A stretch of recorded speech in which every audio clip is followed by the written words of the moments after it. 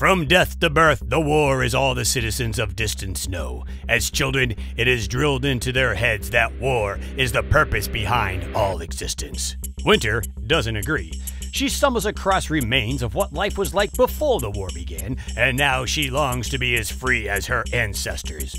With the help of her best friend Cedar and the boy she is forbidden to love, Tallow, she believes she can do it. Winter can see life beyond the pickets, beyond the constant hunger and the threat of death, beyond the war machine. Can one teenage girl and her dream of a better life really change the whole world? Find out in Dystance Book 1 Winter's Rising. This is the Chronicles of Michael Talbot, the podcast. No, so I'm very happy that I don't do that no more. And I always tip Uh-huh. my my delivery driver well because I know he has to deal with. Always, always. So we are on Dystance. Yes. So you sounded excited, and you were the only one that answered the call, which I am not complaining about. Um, everybody, I love the people, and this is for everybody out there. You all say you love the stories and you enjoy the podcast, but nobody wants to come on. It's not a huge deal. You don't need a lot of equipment. You You don't. don't. All you need is knowledge and a love for these stories, and just Uh-huh. else to talk to you about with them. That makes no one else to talk to with them about them. Yeah. So Yeah. And also, my big thing is that like um my wife did listen to the series too, but I love that I love getting a completely different perspective on the books and then talking a little bit deeper about things that like I have may have um because I listen to the books while I'm driving most of the time, and Mhm. it's like it's nice to like somebody else has caught something that puts another thread together. So I love talking about them because it's just a it's just a whole different perspective, and I love it. Yeah. This is only my second uh, listen through on this whole series, and I've only Mhm. gotten through book one. I did it twice. So it's kind of, I- know what's coming up in the next two, kind of, but I don't know how this series ends. I know Mhm. cameo appearance that comes up in book two, but I don't know how it leads. Like, I forget how they got to that point. So, which is kind of good for me because when we, with these past weeks, we've been doing all this, it's, we already know what's coming up. So it's hard to talk about something in a as a fresh perspective, knowing well what's going to happen, and then you give away spoilers, and then you know what else is going to happen. So this is kind of different for me because this is still fresh in my mind. I forget what happens next. I Mm, got the I mind of a goldfish, so this will be good. But if you do going from that, Mhm. Um, let's start off with I like this this series. I like this book. I didn't think I was going to like it. And when I 1st Mhm. read it, I messaged Mark and I was like, dude, is this a kissing book? What did you write? Because I went from zombie fallout to Indian Hill to Dystance. I did I skipped a lot of the other ones. I didn't get to the other ones yet because I went, oh, this looks this looks different. This chick looks like a badass on the cover. And you know, it's got winter with the sword. and like, oh, this would be like a fantasy Lord of the Yeah. Rings type of thing. And when you start on it, you don't know what it is. It's totally different. There's no zombie, there's Uh-huh. no aliens. You're just in a post utopia world, and you don't realize what it is until uh, uh what's his name? I had every I got everybody's name written down so I don't so I don't forget everybody. Uh Brody says I trained at Indian Hill. And you go, "Oh shit. Is this another one of Mark's like Mhm. things or is this a continuation after the events of Indian Hill because it takes place in the future, way ass in the future. Mhm, mhm. So that got me, kept me listening to it. And then I fell in love with it. I was like, oh, I get it now. This book's awesome. This chick's a badass. Her friend's a badass. Tallow's a little Mhm. a whiny bitch. Uh, you know, and, and they'll get through it. Yeah, yeah, yeah. I, I like that Tallow holds his own, but I was like, you you got to man up, Tallow. Come on now, like you. you He still he, he plays through the whole thing that I'm gonna be the man, I'm gonna be the tough guy, I'm gonna be chivalrous. And he just he kind of gets his ass handed to him every time. consistently, It's consistently, funny. This is a sister's book, you know, girl Mhm. power. Winter all day. and and and uh Cedar, they dominate this story. the entire thing. And I think for me, like again, when I first started reading it, I think the um the only reason I read it was because I saw that there was another it was another series um Mark had wrote it, and I was like, okay, three more books, like this is great. And I, I honestly didn't have anything else to read or mm-hmm. reread. I was still waiting for ZF twenty, so I was like, eh, I already read, you know, like in Indian Hill, how many times? Let me just try. I might as well try this. And it really, um, I don't think I really.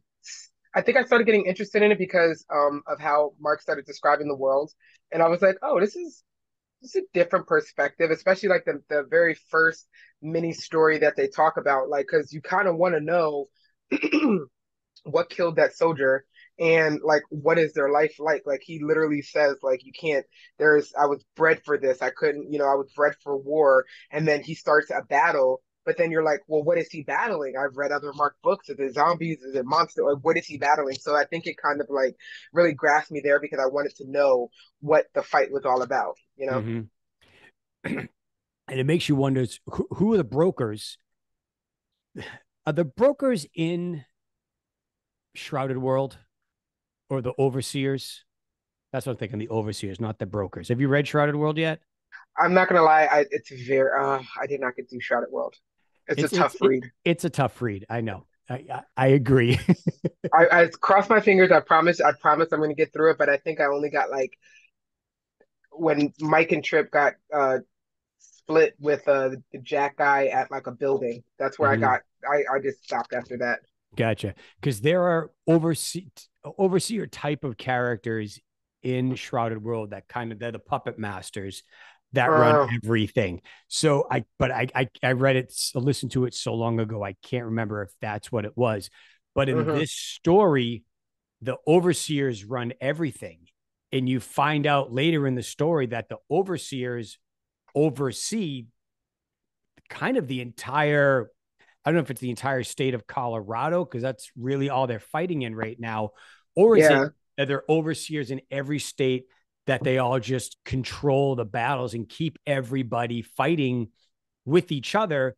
And you got to wonder to yourself, well, why is everybody fighting with each other? They're not fighting for land. They're not fighting for uh, uh, uh what's it called? um, position or mm-hmm. stance or, or anything like that. Mm-hmm. Why are they having them all fight each other? What's the point? It's, it's giving progerians to me. Like I don't like that's the only I really I think that was one of the, it was one of the few questions that got kind of lost in the sauce as we were trying to figure it out. Like what like out of all the answers that we got throughout the series, that was probably one of them that it was just like, but why? Right. Is what is literal what is the literal point of it? You know what I mean?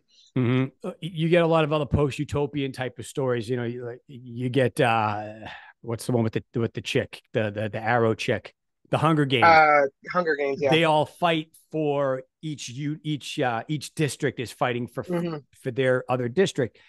In distant Dystance is just a uh, say a district or a, a town or whatever you want to call it.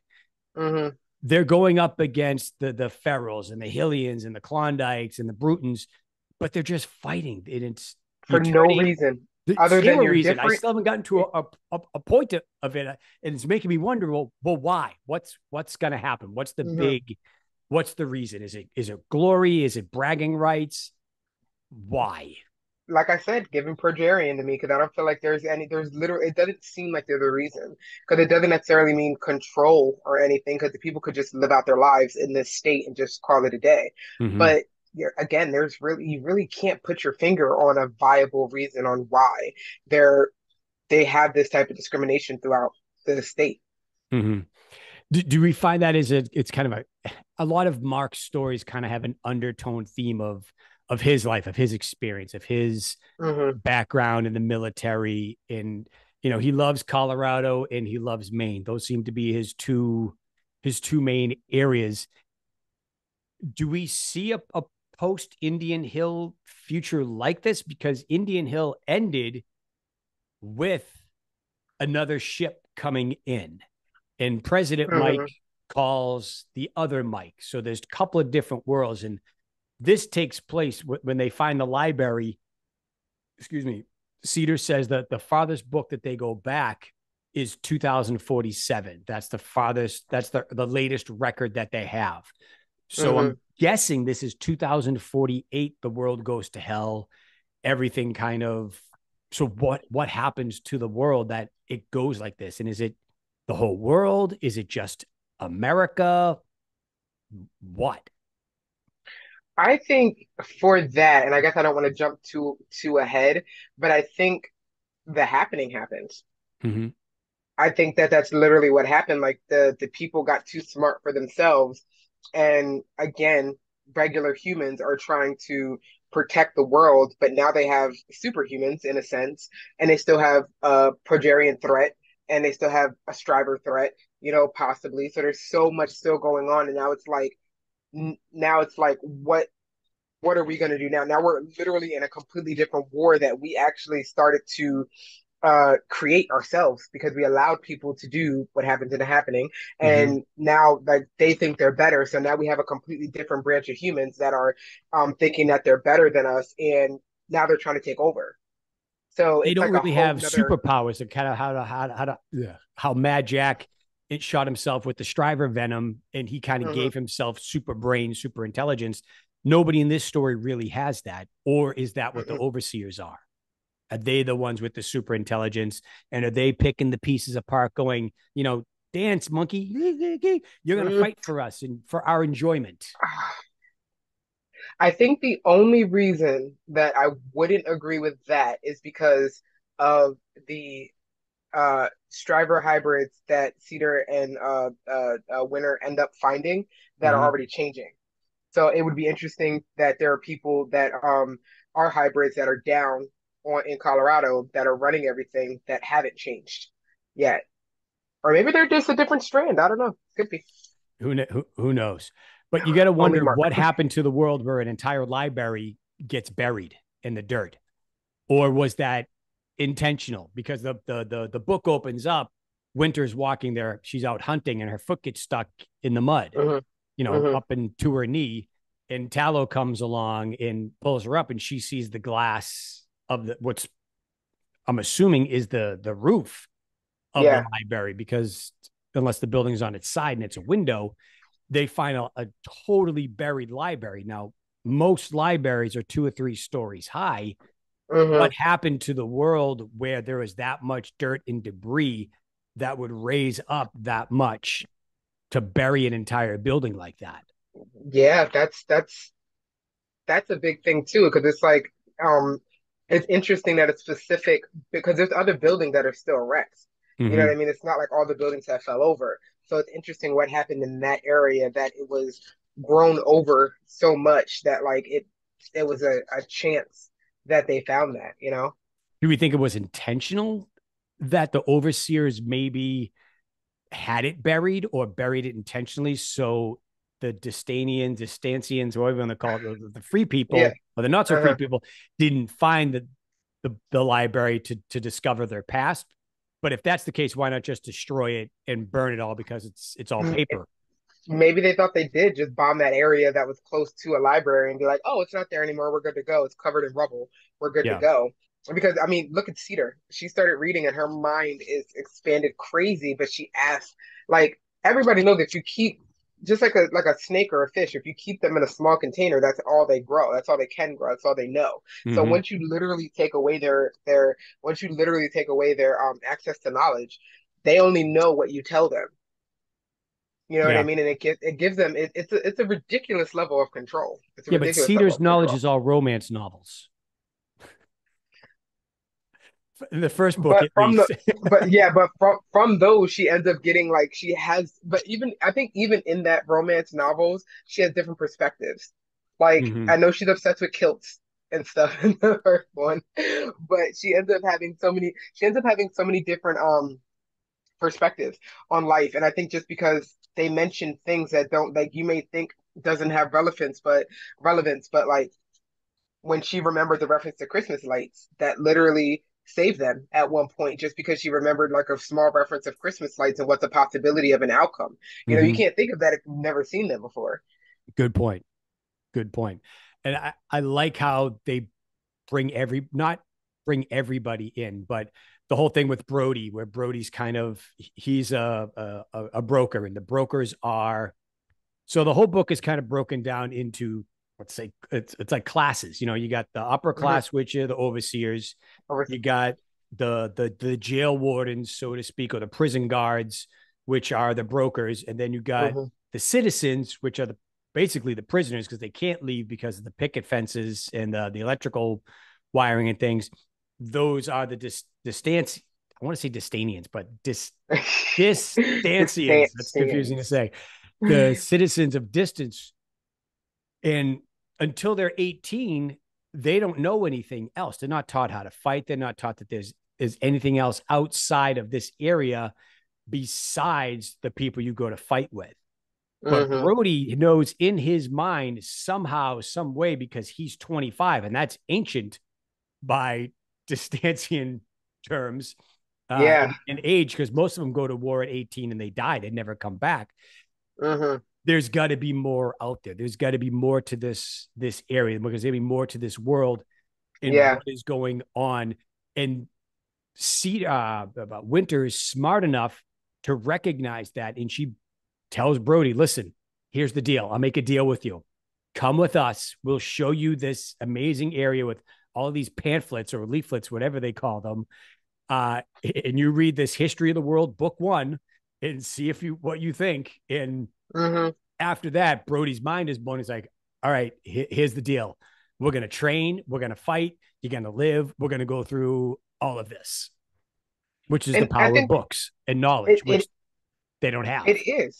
Yeah, which is crazy to me because I think even I, I think the best thing about it is that the fact that everybody like humans are naturally curious. So I think the fact that Brody was even willing to think for a second like they might have a legitimate reason on why they did all that they've done so far and I'm going to look. Let me just see what's going on here. And the mm-hmm. fact that again he retained so much knowledge, he retained everything that he was reading and it's just like, you know what? shit's about to change. I don't know how it's about to change, but you're a part of it clearly. And we're going to make sure that you guys actually have the best foot forward that I can give you. Like, I think that entire thought process to me is like bananas knowing how they grew up and they were raised. You know, mm-hmm. they were mm-hmm. basically trained monkeys. And then, then they gave them a book and it's like, oh crap, there's more out here than just war. So is it the whole concept of if you give a monkey a typewriter, he will eventually learn how to type the great novel. If you give a Distancian books, will they soon become great warriors or expand their mind outside of what is in their general area? Yeah.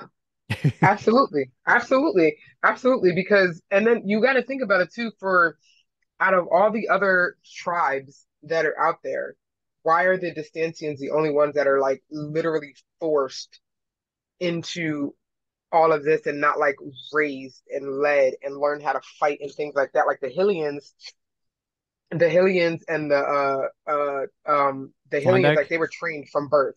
Mm-hmm. You know what I mean? They were trained from birth to fight. Like they know that that's their mission, and that's a hell of a lot different than somebody who's just they're told they're bred you you we give you enough to survive, and then at 18 you sh- we ship you off to to go. You know, but every other tribe out there, none of them were as confined as the Dystance as the people from Dystance, which I thought was very interesting as well. I looked at it as it's kind of their version of population control.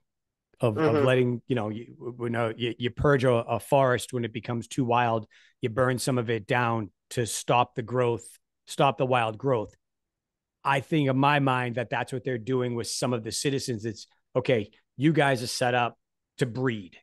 You're the breeders, you're the fighters, you're the warriors. You got the ferals, which are kind of trained, but they're wild humans. Mm-hmm. Like, what, what is everybody? Yeah, yeah. It's like everybody. I think Cedar. I think Cedar broke it down really nicely when she said that there it's kind of like a prison how everybody is separated from like whites mexicans blacks like everybody's separated into their own ness and they're and they live like that and they're, they're dedicated and committed to their own quote unquote tribe mm-hmm. can't we all just get along isn't that what Winter is trying to do facts that's exactly what she's trying to do and she tries it and I don't want to give away too much at the end because if you haven't read this story, you really should. Don't judge a book by its cover. It's definitely not a chick book. Yes. I'll be the yeah, first definitely not because I definitely thought not. it was. Um, she gets double crossed. She tries to form an alliance. She tries to get. We're all going to fight together and you know you got the Deneaux factor of everything it's i'm going to do yep. what i can to protect my ass and save mm-hmm. me and screw you and everybody else that i have to step on. Yep yep yep. Absolutely. And i and i think that's like for like for her journey like even if you want to skip a little bit ahead like once they ended up uh how much did you love the fact that uh winter has that skill of like what did, what does she call it? Her her honing in skill? Like the time displacement type of thing yeah. where she could yeah. Yeah like how fucking awesome is that? Like the fact that, yeah like it to me i think it's like it's so limitless because she she evolves it throughout the throughout the books and which is to me it's like brody's like yeah you have you have a couple seconds which is which is which blew my mind because i was like once you learn further that um uh certain people end up having certain skills depending on who their lineage is mm-hmm. um makes me wonder where what lineage brody is. Because mm-hmm. how does he have the time dilation the same as winter do you think they're related because you, you, never know they don't know who's you related. don't, don't know you don't sister only winter knows who her mother is because her mother found her and said i'm your mother and I'm your, like, yeah okay yeah. you're my mother yeah, which I think blew my mind because I'm like, if if certain people of the, I think I think they were specific and said that the Talbot lineage, after a certain time, they ended up having um certain powers mm-hmm. or certain abilities that were different than other people. So it, it comes to it comes to reason like Brody might be like a distant I guess not distant because they're the same age, but there could be some some Talbot blood flowing through him, which I think is even more, um, which I think even puts it a little bit more into perspective how random and lucky that uh, Winter is throughout this entire process. Because if it would have been any other broker who happened to be chosen to be leader, like she could have just been dead the first couple chapters of the book. She's lucky it wasn't Durgan. Seriously, even though he was, even though they said he was a good guy, when they honestly, I got more hooked into the book when they when they when they said uh she had killed Durgan. And I was like, oh fuck, they they put Durgan in here again. nice. like just recycling names over here. Yeah, it's, it's all it's, it's all the the the the the, the triptyverse, you know, all mm-hmm. those names in there.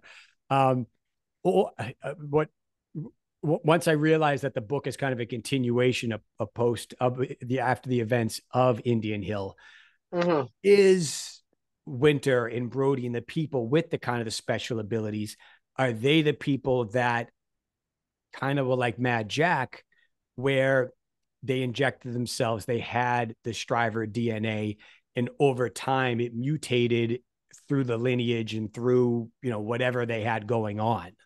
Is mm-hmm. that does that uh uh not a side effect, but is that a, a reason for it all? I think that was my that was my thinking. Once on my second read through, I was like, "Oh wait, this is kind of this," and once I listened to Indian Hill again, I was like, oh shit, that's right. He had the mm. Stryver blood. He became super intelligent. But whereas it's a post apocalyptic thing and the world kind of ended, did it diminish? And now it's starting to come through, kind of like with, you know, the X Men and the mutants, where it, it, it, it, it comes out, you know, during puberty and when your sentence, sentence, senses are heightened and you're at your most, you know, amped up.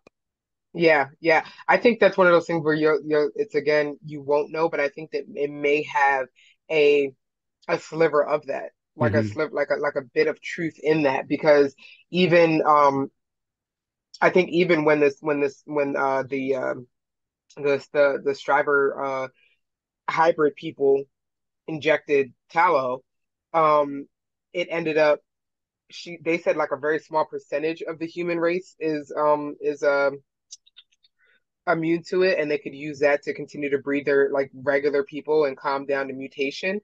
Who knows? Maybe cedar and winter would be that part of the population that are is immune to it because they already have some type of like mutated change to it but they were actually able to make it work. You know what i mean? They weren't able to because you know you find out later in the book that um no one's been to earth like which is which that in itself blows my mind mm-hmm. that everybody just kind of like this like didn't care about Earth anymore, and now they're like because of everything that's happening, now everybody's trying to come back. I and I think that in itself blows my mind as well. Right. It is. Was Mark thinking of all this when he wrote it, or was he was like like Mark always does? He writes himself into a corner, and we find out in book two at the beginning Mhm. of it that he wrote himself into a corner and had to write himself out and went.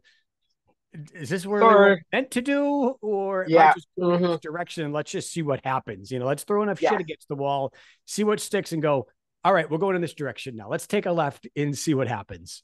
Yeah, I think As he was Mark definitely does. able to go to a lot.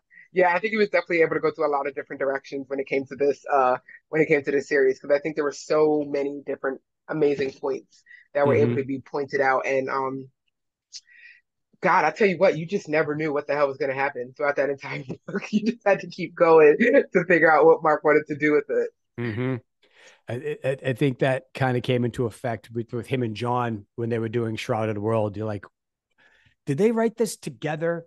Were they zooming each other, or did one person just write one thing, the other one wrote the other, and they said, okay, let's take a little bit of this and that. Let's let's make this Mhm. work. And you know, when we get to the Shrouded World part portion of the podcast, it's it's it's going to be an interesting episodes because Yeah. those are some messed up stories that hmm take you take you for a ride, definitely.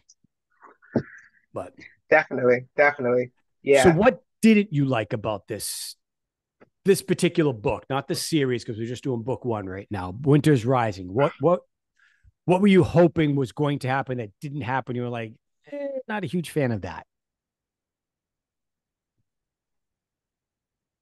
I know for me, Mm. um, it, it- you can go ahead.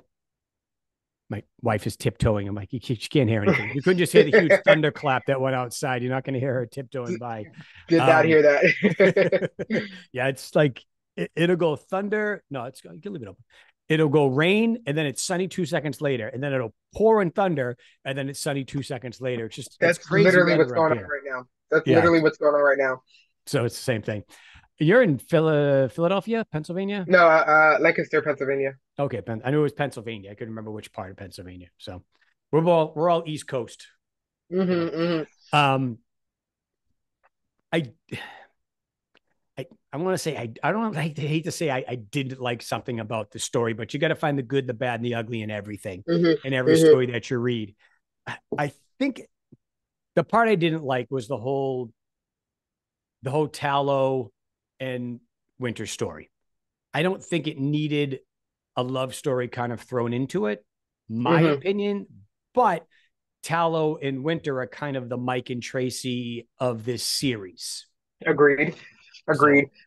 I, I, I think I gotta agree with you on that too. I, I don't think um teenage romance novels is Mike's forte. So um yeah, I just didn't. I think that was the only thing because I think I was super. I think with everything that Winter and Cedar were trying to do when, especially when they joined up with the Hillians and they were dealing with uh the fat guy and everything, like they were going like I. At 35, I couldn't imagine dealing with somebody who was that annoying as Tallow was in that situation. And I think I would have just like I it's it's it, I think it was just way too much drama for the situation that was at hand.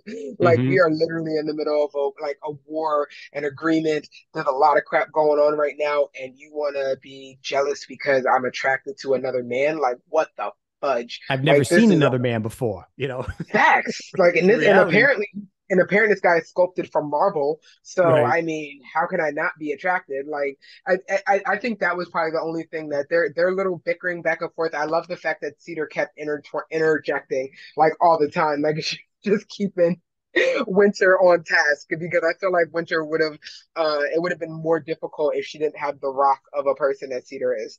Well, I think Cedar got her experience too from the romance novels that she was Mhm, reading, you mhm. know, the Fabio long flowing hair Yep, type of yep, romance yep. novels that she had. That's where she learned how to date, you know. Yeah. Uh, she ends up falling for uh for Sarah, Yeah. you know, through the whole thing, and you find out what that kind of whole it, it- thing is going to go. Yeah, which I thought was uh I think if I, I think I think Cedar plays her I think Cedar is uh Winter's BT because she needs she really needs that that strong minded uh, individual who can kick ass and also like be the voice of reasoning for her when she's Mhm. going through or just just honestly nonsense. Like I I I think that was probably the the one part that just really irked me. It's just like yo, either confess your undying love for Winter and call it a day, Mhm. or just step aside, bro. like, Yeah. So holy crap. Thank God my basement doesn't flood because we would be screwed this week. that that would suck. That it's would literally just like opened up right now again. So I'm, I'm right. I'm in the, the, dining room right by the right by the door. So I It's don't know if you can going crazy. Yeah, I can't hear anything. Oh, okay, good. good 'cause audio. it- That's good it's raining. It's just a big clap of thunder just came through. So That's good audio. so, but um, so getting toward the end of the story, uh, uh, Brody teaches them how to fight. Mhm. That's where we learn how Winter has the kind of the time delay or time lapse or Yep, whatever she yep. wants to call it, and they end up calling her the ghost because she's such a fierce. When they get to the battles at the end of the book, uh, chapter, you know, that the third act of the book, she's kicking ass, and she owes that all to to Brody that Mhm. took a chance on them and said maybe these guys have something going on that they're they're not bullshitting me about. I'm going to Mhm. train them. I'm going to follow them. I'm going to listen to them. And she gets the reputation and is called the ghost because she's so fast and she's moving. But Hayden also has that same ability and catches her off guard. So it's the whole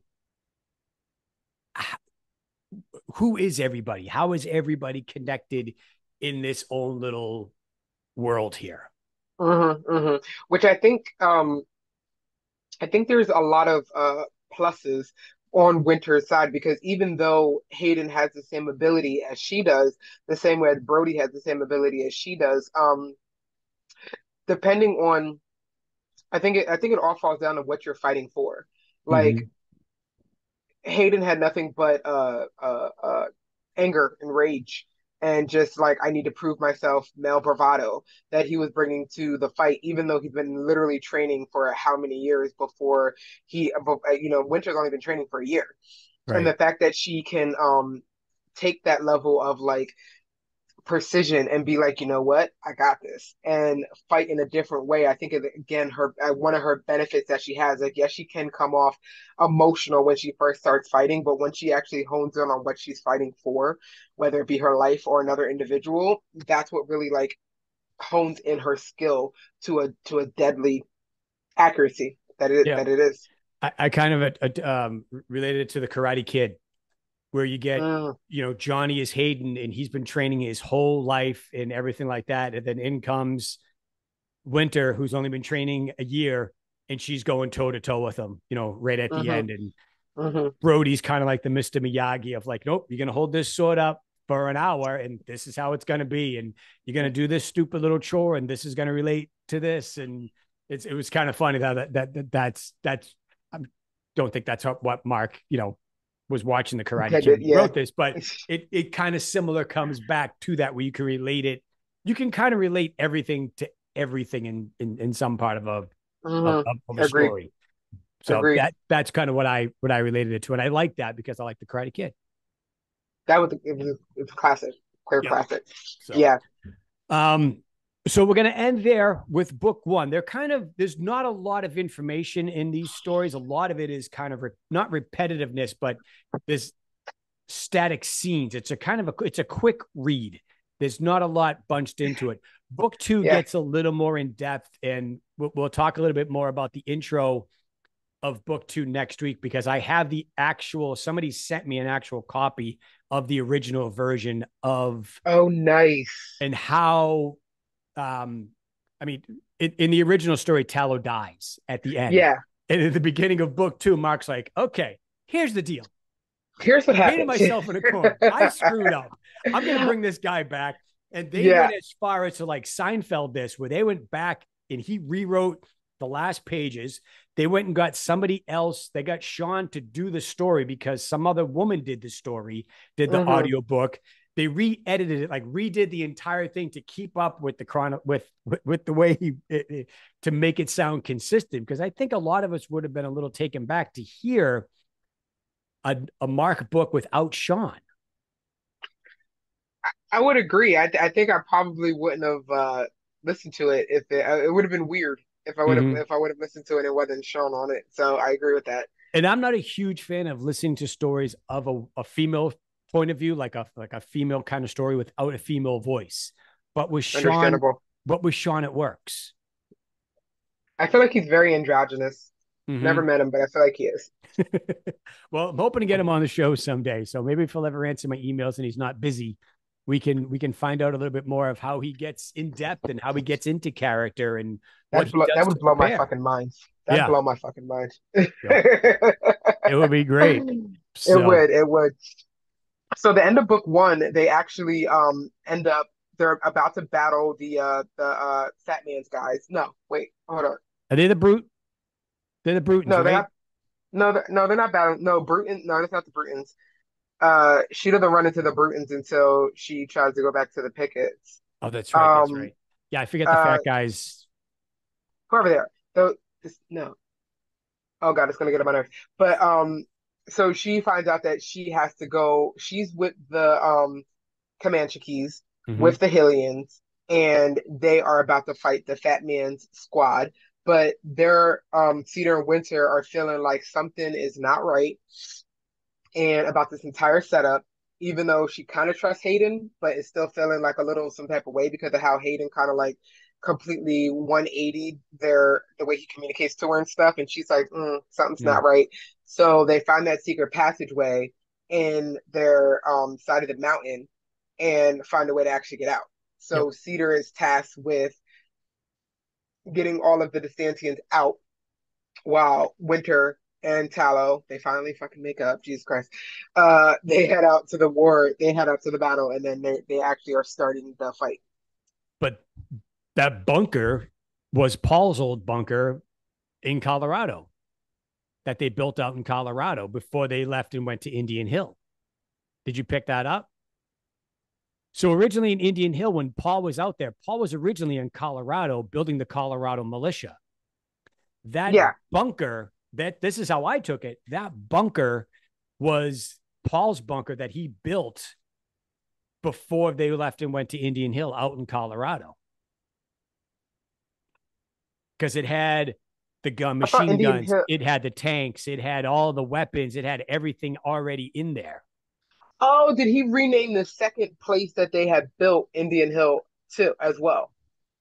The sec- the original the second place out in Walpole was always Indian Hill.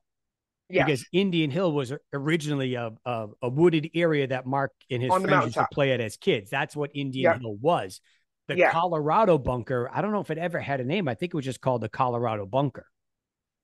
I did not pick up on that. I did not because I, I thought I figured it had something to do with some type of bunker, but I was like, I don't know.